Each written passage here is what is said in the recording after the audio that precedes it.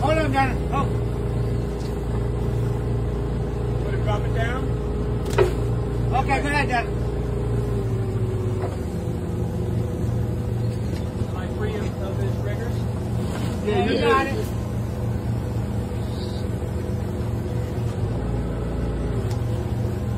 You got room, Dennis. Go ahead.